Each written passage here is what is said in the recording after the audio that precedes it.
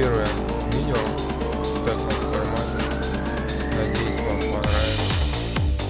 Сейчас покажу, что за автомобиль Автомобиль Datsun Ondo. В принципе, не важно. Важно то, что будет